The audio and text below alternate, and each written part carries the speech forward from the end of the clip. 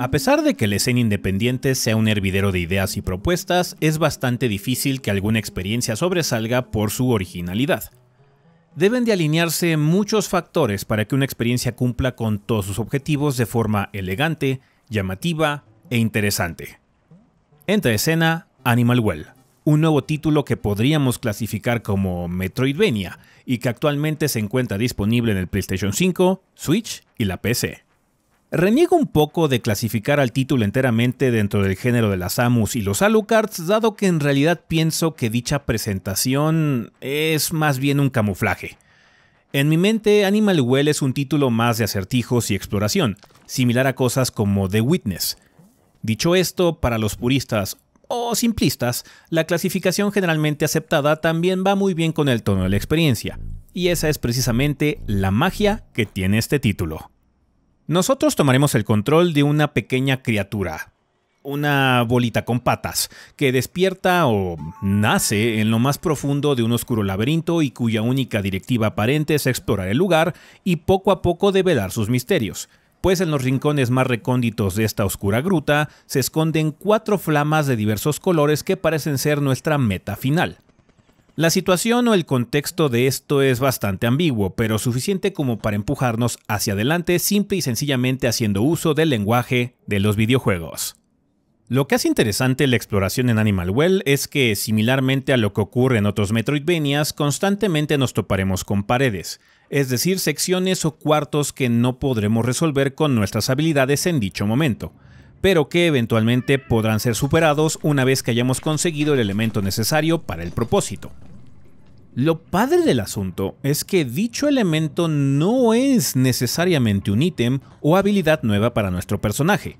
A veces simplemente es conocimiento que nosotros, como jugadores, hayamos adquirido al investigar otro lugar. Ya sea descubrir que se puede hacer algo con algún elemento del escenario o darnos cuenta que alguna de nuestras herramientas tiene usos alternativos que no resultaban evidentes desde un principio. Digamos que si tienes ingenio puedes resolver los enigmas que te presentan las paredes en la exploración de varias formas, o si de plano nomás no puedes vislumbrar cómo seguir avanzando, eventualmente llegará algún ítem que te lo resuelva de forma más directa. Por lo mismo, el diseño del mapa en el juego es sobresaliente, ya que toma en cuenta estos factores todo el tiempo para evitar que te atores y siempre puedas, al menos, regresar por donde llegaste. Los ítems que puedes encontrar y utilizar son sumamente ingeniosos, y lo coqueto del asunto es que estos no tienen una progresión natural, es decir, no necesariamente encontrarás uno antes de otro, particularmente porque la exploración es muy libre y cada jugador tendrá su propia experiencia y ruta a seguir.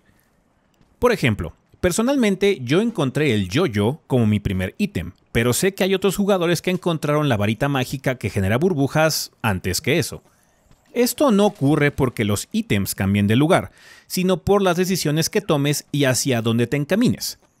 Creo que esta situación tiene como consecuencia que la atmósfera de misterio y de inquietud que propone el tono del juego se intensifique y te sientas perdido en una ruina misteriosa llena de animales que son todo menos adorables.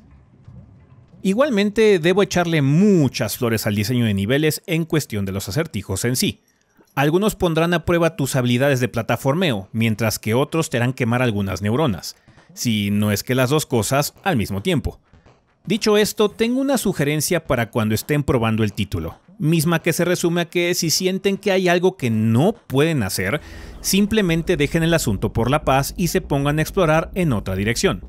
La respuesta llegará eventualmente y podrán volver a ese cuarto o acertijo con una nueva perspectiva para poder seguir avanzando. La única nota que tengo con Animal Well es que siento que su mapa es un poco difícil de leer y depende de mucha memorización de tu parte para que recuerdes los puntos en los cuales te quedaste atorado. Las distintas secciones del laberinto están divididas por colores, pero hubiera apreciado un sistema de notas, pines o imágenes como lo que vimos en The Lost Crown a inicios de año. En este juego hubiera sido particularmente idóneo. Fuera de este detalle no tengo ningún punto negativo que decir de Animal Well. Creo que está hermosamente diseñado y está enfocado a la perfección al tipo de juego que quiere ser. No tenemos distracciones como combate o sistemas de progresión. La exploración, la resolución de acertijos y el incrementar poco a poco tu conocimiento sobre el juego y sus posibilidades son los temas centrales, y la neta, se disfrutan un chingo. Igualmente creo que el apartado visual ayuda mucho en este aspecto, pues es bastante sencillo pero a la vez invitante. Pese a tratarse de pixel art, tiene su propia identidad, misma que es bastante lúgubre y desconcertante. Puedo decir lo mismo del diseño de audio, que es sencillo, pero juega fantásticamente con los elementos que trae a la mesa, como sonidos ambientales provenientes del oscuro laberinto, las criaturas que lo pululan o esa sugerencia de banda sonora que aparece en los momentos indicados. En cuentas resumidas, banda, se los recomiendo con toda violencia. Creo que Animal Well es uno de los títulos mejor diseñados en años recientes, que le pone un giro por demás interesante a la fórmula de los Metroidvanias, enfocándose en la resolución de acertijos y la exploración de un mapa absolutamente atrapante. Este es de los títulos más interesantes que he probado en el año, y creo que ya se ganó su lugar en las pláticas y listas obligadas de lo mejor de este 2024. No se dejen engañar por su simpleza, ya que en ella se esconde una eficiencia y elegancia por demás impresionante. Una verdadera chulada de juego.